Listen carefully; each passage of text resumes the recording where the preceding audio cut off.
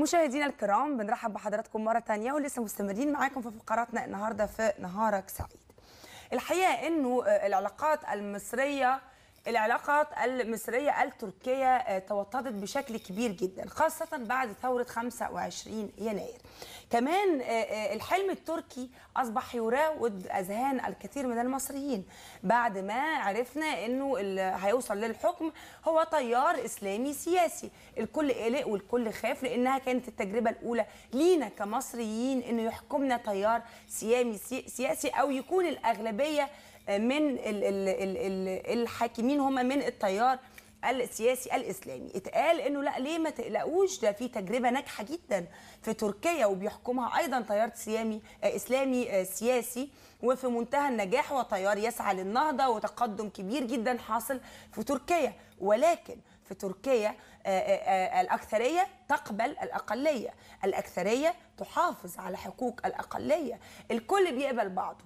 آه في أطياف مختلفة في أشكال مختلفة في طباع مختلفة وناس مختلفة واتجاهات مختلفة ولكن الكل هناك بيقبل بعضه. ومحدش ليه دعوة بحد ومحدش بيحكم بحاجة على حد. هو ده اللي كان أو هو ده اللي بيميز الحكم التيار السياسي الإسلامي في تركيا. بعد زيارة السيد الرئيس دكتور محمد مرسي لتركيا والكلام عن مشاريع والكلام عن استثمارات والكلام عن زيادة الاستثمارات ما بين مصر وما بين تركيا الحقيقة إنه حقيقي كان في حاجات كتير مفيدة بعد هذه الزيارة، النهارده هنتكلم عن زيارة الرئيس دكتور محمد مرسي لتركيا وهنتكلم العلاقات المصرية التركية مع الأستاذ عبد الله ايدوغان وهو عبد الله أيدوغان وهو مدير وكالة ساتا التركية. أستاذ عبد الله أهلا بحضرتك معانا النهارده. أهلا أهلا. منورنا. ده نورك ربنا يكرمك. أه الحقيقة في البداية حابة أعرف بس من حضرتك هو أه الزيارة اللي حصلت أو اللي قام بيها السيد الرئيس دكتور محمد مرسي لتركيا. أه في تركيا كنتوا شايفينها إزاي؟ ويعني أثمرت عن إيه زيارة زي كده؟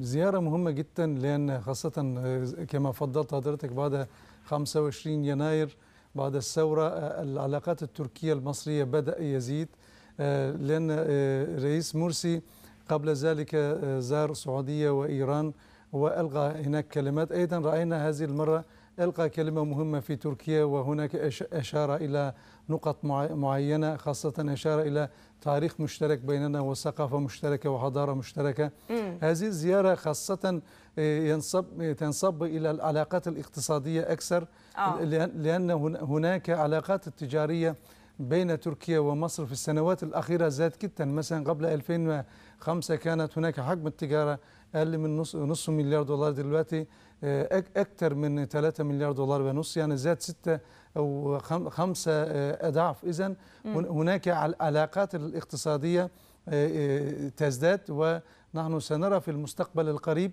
علاقات السياسية والاجتماعية وحتى عسكرية أيضا ستزداد. يعني هناك ما بين توقع. مصر وما بين تركيا وتم تفعيل ال ال الاقتراحات أو الاتفاقات دي بالفعل أستاذ عبد الله؟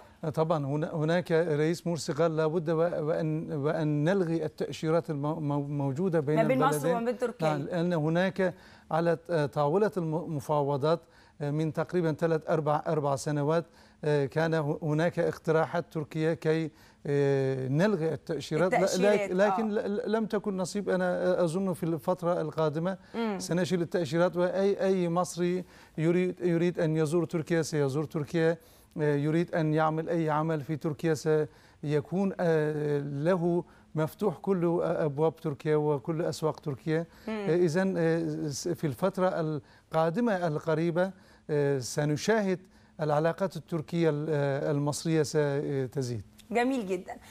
الرئيس دكتور محمد مرسي حضر المؤتمر العام الرابع لحزب العدالة والتنمية وهو حزب الأغلبية. الموجود في تركيا.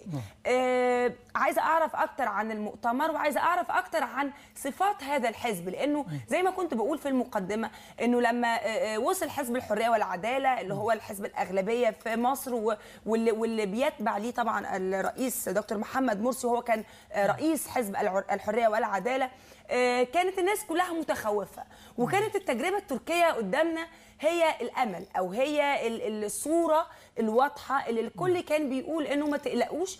ده في تجربة ناجحة جدا سعت للنهضة وسعت للتنمية وسعت للتطوير في تركيا. فيهمني أعرف معلومات أكتر اولا عن المؤتمر الرابع لحزب لهذا الحزب أو لحزب الأغلبية في تركيا وعن سمات هذا الحزب. واهم صفاته. يعني هو طبعا هذا الحزب آه، في آخر عشر عشر سنوات هو حزب الحاكم في تركيا. مم. هذا أول حزب في تاريخ تركيا آه، آه، قريب من 100 100 عام آه، لم تكن في السياسة التركيه أي حزب دخل انتخابات في ثلاث ثلاث فترات ونجح فيها وكل مرة تزداد نسبة الأصوات يا لم لم تحصل في تاريخ تركيا ليه؟ آه. لأن هذا الحزب خدوم يخدم الناس لا مم. لا يهتم بلبس الناس ولا ولا ولا بعادات وتقاليد الناس آه. ولا يتدخل كيف تعيش هو يخدم أهم أهم صفاته لهذا الحزب لأن قبل عشر سنوات تركيا كانت هناك آه، أزمة اقتصادية شديدة جدا لأن حصل آه، آه، سنة سبع- 97 تدخل عس- عسكري تقريبا انقلاب انقلاب في تركيا. الجيش تد- تدخ- تدخل بطريقة معينة شل الحكومة. بعد ذلك جاء بحكومات الائتلافية. هذه الحكومات لم تنجحوا. ونحن دخلنا في الأزمة الاقتصادية طاحنة جدا. حتى بعض الشركات آه، كثير طلعوا ناس الذين آه، يشتغلون فيه. بعض الشركات اضطروا أن ينزلوا الراتب آه، راتب لل- لل- للعاملين لنص نص لأنه هناك كان آه، أزمة. آه، بالنسبة للتجربة التركية آه، ناجحة. أنا أرى هذه التجربة ممكن نقول تجربة مصرية في نفس الوقت. لأن في مصر هناك ماركتان عالميتان ربما أنتم أو بعض الناس لا ياخذ باله. واحد منه تم تأسيسه قبل ألف عام ألا وهو الأزهر. الأزهر له آه، خارجين في العالم الإسلامي كله في يعني هناك يعني هم جسر بين مصر والدول الآخر شيء آخر هناك فكرة إخوانية. أنا لا أريد أن أمدح ولا أن أقول أي شيء لكن آه. هناك فكرة إخوانية أثرت في أكثر من 80 دولة في العالم. أيوه. طبعا تركيا أيضا تأثرت من هذه الفكرة. كانت هناك فكرة من ليجوريش كان نجمة اربكان كان هو آه، هو هو افكاره شبه آه، الإخوان هنا. آه، رجب طيب أردوغان وزملائه كان لهم وجهة نظر مختلف شوية. انفصلوا عن اربكان وبعد ذلك أسسوا آه، حزبهم. وجاءوا للح- للحكم. لا- لكنهم وجهه نظرهم مختلفة شوية. هم مهتمين للاقتصاد أكثر م- منفتحين أكثر للعالم. آه. بدل ما يقولوا حوالين تركيا فيها مشاكل في في, في فيها أعداء. لا يقولوا إحنا كلنا دول جيدة ولا بد وأن تكون هناك علاقات جيدة. أكيد. ولهذا جاء من هنا العلا- المشاكل بين ولكنه حزب لا يتدخل في الحريات الشخصية. لا لا ابدا. آه لا يتدخل. لا يتدخل في حريات الآخرين يقبل الأقلية يحافظ على حقوق الأقلية. وهي دي آه، يعني أهم ميزة فيه تفتكر أفتكر. آه طبعا. آه، أنتم كما ترون في المسلسلات التركية في السنوات لا، ده المسلسلات التركية ده إحنا هنتكلم السنوات. الأخيرة. هل هل ترون أيوة. هناك اي أي تدخل؟ خالص، آه يعني خالص، كل. يشتغل فنان يشتغل في فنه والرسام يشتغل في يرسم أيوة. رجال أعمال يشتغلون و, و حرية اللبس حرية التعبير. حرية. المظهر يعني كل الحريات آه، آه، يعني الحقيقة موجودة والكل يحترم كله بيحترم بعضه كل يحترم وليس آه. هناك مخاوف أنا أيضا لا أرى أي بالظبط. مخاوف في مفيش في واحدة نازلة لابسة قصير خايفة إن يجي حد من تيار إسلامي آه، يهاجمها أو يقتلها أو يواجهها بشكل مش مظبوط وهو ده اللي حصل في تركيا لا هتشوف حضرتك في هذه المخاوف كانوا يقولون نفس الكلام عندنا. وأنا أرى حقيقي. أيضا أيضا يقال نفس الكلا- الكلام المعارضة. معارضة كان يقول عندنا إردوغان إردوغان يأخذ تع- تعليمات من أمريكا. أنا أسمع دلوقتي بعض الناس يقول مرسي وحقوق م- رئيس الاقليات مرسي وحقوق كل الناس الأقباط مثلا الأقباط ال- المسيحيين يعني يعني كل الحريات وكل الطوائف اللي موجودة في مصر آه، بنتمنى إن هي تكون بالظبط كده زي تركيا. شوف حضرتك يعني- مثلا عن- عندنا عندنا آه، كان آه، كنيسة أرمن في ولاية وان في في هذه الكنيسة كانت مقفول أكثر من سبعين عاما آه. أردوغان هو فتح الكنيسة في في هناك كنيسة أخرى في مدينة طرابزون أردوغان هو هو رمم الكنيسة وفتح نموذج. ليس أي مشكلة في الديانات جميل. ما لأن الإسلام نفسه يحترم الديانات طبعا الاخرى ما فيش أي طبعا مشكلة طبعا. وده اللي أكد عليه الرئيس دكتور محمد مرسي في كل خطاباته الحقيقة داخل وخارج مصر نرجع مرة تانية للعلاقات التركية المصرية والتوافق اللي حاصل ما بين البلدين على الموقف السوري أو الموقف تجاه الملف السوري. آه، حضرتك شايف ده إزاي؟ وحضرتك شايف إنه حقيقي آه، آه، توافق البلدين ممكن يتم تفعيله على أرض الواقع إزاي؟ هنا- هناك مبادرة مصرية كما تعلمون مبادرة رباعية لقضية الس- السورية وهناك تر- تركيا رئيس مرسي دعا تركيا وإيران والسعودية ومصر. وفعلا الوزراء الخارجية تجم- تجمعوا في في مصر في مصر في المستقبل ال- القريب سيكون هن- هناك آه، تطورات أكثر وهناك سيكون لقاءات أكثر لحل قضية سوريا لأن تر- تركيا بين سوريا وتركيا حدود قريب من ألف كيلومتر. أي أي شيء تحدث في في سوريا تؤثر في تركيا أيضا. بعض الناس في ال- في الجنوب جنوب قريبين من من من حدود سوريا بدأوا أن يهاجروا أتراك سابوا بيوتهم. لأن أحيانا يأتي القنا- القنابل آه، في في البيوت. أحيانا نرى في في الأزايز البيوت ينكسر من من شدة القنابل. أحيانا يأتي يأتي الرصاص. إذا هناك آه، توافق بين تركيا ومصر بالنسبة للقضية ال- السورية لأن الطرفان يؤمنان أن هناك آه، نظام قمعي وظالم آه، يظلم شعبه. وطرفان يريد أن يحل هذه المشكلة بطريقة سلمية بطريقة آه، من دون تدخل أجنبي أيوة. طرفان متفقان على هذا كما قال رئيس مرسي أيضا في المؤتمر آه، في تركيا مم. مم. كيف كانت المباحثات للرئيس مرسي في آه، تركيا وماذا عن آه، مقابلته بالرئيس عبد الله جول هو طبعا آه، هناك كان لقاء في تشانقيا هناك في القصر تشانقيا قصر الرئاسي آه، طرفان هناك لقاء ثنائي. طر- طرفان نا- نا- ناقشوا آه، في العلاقات التركية المصرية آه، في التجارية والسياسية والاقتصادية. خاصة وخاصة ال- القضايا الدولية والإقليمية آه، طبعا فيها كان الملف السوري مهم جدا وملف الفلسط- الفلسطيني أيضا. الآن هناك تقارب في وجهات النظر في القضية الفلسطينية أيضا خاصة آه، بعد هجوم ال- ال- الجيش الإسرائيلي في المرمرة الزرقاء سفينة مرمرة الزر- الزرقاء وقتلهم تسعة من الأتراك. آه، كانت تركيا دائما آه، تدعم القضية الفلسطينية لكن كانت هناك علاقات مع إسرائيل إسرائيل أيضا كانت مستمرة. بعد هذا الهجوم آه، علاقات مع إسرائيل بدأ يقل ودعم القضية الفلسطينية أكثر.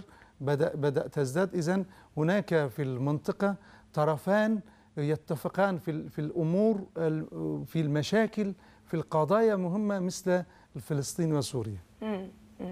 آه، وافقت كمان تركيا على آه، آه، على قرض مصر مليار دولار نعم هو أصلا مليارين دولار لكن مليارين. مليار هو هو قرض مليار المليار الثاني سيكون هناك استثمار لرجال الأعمال في مصر. اذا هناك ما دام استثمار سيكون هنا في سي- سيبنون المصانع وفي هذه المصانع سيشتغل فيها مصريين. اذا يعني تشغيل أيدي عاملة. أي- أيوة. يعني آه يعني فيها هيكون في قرض آه، هيتم تشغيله والاستثمار و- أيوة. ويعني هيشتغلوا بيه على طول. وفي قرض تاني ده اللي هيتم آه، آه، اعطائه صحيح لمصر. صحيح يعني آه. لأن لأن هنا مليارين مليار هو القرض مليار الثاني هو هو استثمار في استثمار. في, في مصر. آه، هيستثمروا في آه، مصر بمليار. صحيح وهذا يع- يعتبر مليارين دولار. أيوة. يعني لأن المصانع الذين سيكون هناك في المستقبل القريب أصلا الآن في في مصر كثير مصانع تركيا رجال أعمال مثلا قبل عشر سنين ما كانوش موجودين في مصر. بقوا موجودين. الان كثير وحتى حتى هنا موجود جمعية رجال الأعمال المصريين والأتراك أيضا يعني. مم، مم. الاتفاقات الاقتصادية كمان اللي حصلت في الأوقات الأخيرة ما بين مصر وما بين تركيا إيه كان إيه أهمها غير ال- المليارين اللي هو واحد منهم هيتم قرضه والآخر سيتم تشغيله؟ هو هو طبعا آه، نحن بيننا بين تركيا ومصر البحر الأبيض المتوسط. أيوه نحن جيران نحن في في الشمال وأنتم في الجنوب. مم. نحن دولتان جار- جارتان. هناك آه، كا- كانت آه، تقريبا قبل سنة مناورة عسكرية في ال- في البحر بين الطرفين. أيوه. وسيكون في في في البحر الأبيض المتوسط بعض المشاريع آه، منها ال- ال- الغاز الطبيعي لاخراج غاز الطبيعي. هيكون هناك آه، آه، تعاون. وأيضا آه، تركيا في في السوق يريد أن ينفتح إلى الدول الأفريقية. مم. ومصر بالنسبة لتركيا تعتبر بوابة مهمة للدول بالنسبة- الأفريقية. للدول الأفريقية أكيد. وأيضا تركيا تعتبر بالنسبة لمصر بوابة لدول الآسيا الوسطى لأن هناك خمس دول التركية في اسيا الوسطى والقوقاز علاقاتهم جي جيدة وأيضا تركيا لها علاقات قوية ومتينة مع دول البلقان هناك أيضا شعوب تركية مصر آه، وتركيا يريدان أن يتعاونا ليس فقط في أفريقيا بل هو في اسيا الوسطى آه، أيضا في القوقاز ففي البلقان. اذا فهي دولة كل بلد بالنسبة للآخر منفذ لبلاد أخرى يعني. آه طبعا هنا هناك آه. مصالح مشتركة. وهذا ليس ليس عيب في ال- لا ال- طبعا. الس- السياسة. أكيد أكيد. بل هناك أيضا في في شيء في احاسيس في المشاعر فوق ال- المصا- المصالح. مثلا هناك نحن دائما نرى بين أمريكا وإسرائيل مصالح. لكن هل هو فقط مصالح؟ في شيء فوق المصالح. وهناك مثلا بين إيران وسوريا هل هو مصالح فقط؟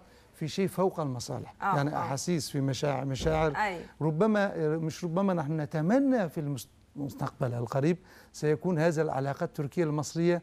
هناك ست- ستكون شيء فوق المصالح المادية. مم، مم. يبقى في حاجات تانية يعني غير إنه بس يبقى مصالح مادية وعلاقات فقط سياسية ولكن كمان آه، يوجد محبة ويوجد حالة من الألفة اللي حاصلة ما بين الشعب التركي كمان والشعب المصري. طبعاً. في الفترات اللي فاتت كان في آه، مصريين كتير جدا بتسافروا ولسه لحد دلوقتي بيسافروا كتير جدا لتركيا والعكس. صحيح الحقيقة. صحيح. صحيح. مثلا عندنا بدأ في السنوات الأخيرة الناس بدأوا أن يتعلموا اللغة العربية كثير جدا. آه. في المدارس الآن في كل المدارس في تركيا هذه السنة بدأنا القرآن الكريم وسيرة النبي عليه الصلاة والسلام. عليه الصلاة والسلام. آه، واللغة العربية أصبح د- د- درس في موجودة في المنهج م- التركي. موجودة المنهج التركي لكن اختياري. اخت- اختياري وفي مصر أيضا وفي هنا مركز الثقافة التركي كل سنة يتعلم تقريبا 500 طالب وطالبة اللغة التركية إذا هناك آه، هناك علاقات ال- ال- الثقافية آه أيضا ثقافية وسياسية آه، وإنسانية وتجارية واقتصادية. يعني هناك الكثير من العلاقات آه، ما بين مصر وتركيا ونتمنى أنها دايما تدوم وتبقى أكتر إن شاء الله. إن شاء الله. آه، سؤالنا الأخير لحضرتك أستاذ عبد الله وهو عن إنه السنوات الأخيرة لتركيا كانت السياسات الخارجية والدولية ليها تتجه أكتر نحو أوروبا. من سنوات قليلة ابتدت السياسات الخارجية والدولية لتركيا تتجه أكتر للدول العربية. آه، ده ده حصل ليه من وجهة نظر حضرتك؟ أو يعني ده فسر لنا ليه الموقف التركي ده آه، حصل؟ يعني هناك سببان يعني س- س- السبب الأولاني آه، تركيا تقريبا قريب من 40 عاما يريد أن تنضم إلى الاتحاد الأوروبي. لم يكن هنا هناك آه، تقدم إيجابي. آه، شيء آخر آه، المجيء لل- للحكم أردوغان وزملائه. آه، هذان النقط هاتان النقطتان لعبوا دور كبير كبير جدا. ربما لو لو لم تكن آه، لم يكن الحزب الحاكم في الحكم الآن ربما آه، ما كانش هيهتم بالدول العربية أو بالدول الشرق الأوسط.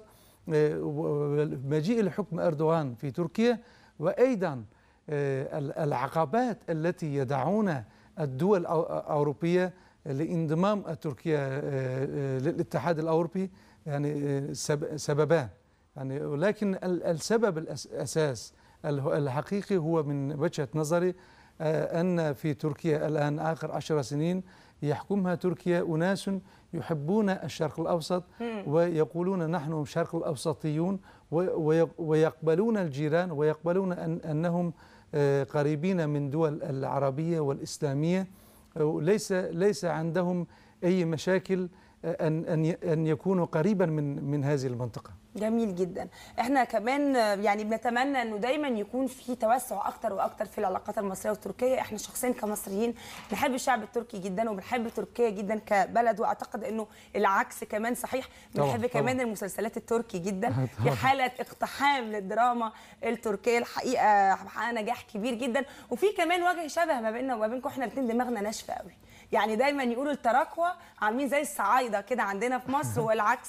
صحيح بنتمنى لحضرتك كل التوفيق وبنتمنى لكل العلاقات المصرية الخارجية بتركيا وبغير تركيا كل التوفيق. أستاذ عبد الله أيدوغان وهو مدير وكالة أنباء ستا التركية. بشكر حضرتك على وجودك معانا ونهار حضرتك سعيد. شكرا ربنا يكرمك. ميرسي. مشاهدينا الكرام خلينا نروح لفاصل ونرجع. معانا لسه فقرة في نهارك سعيد تابعونا.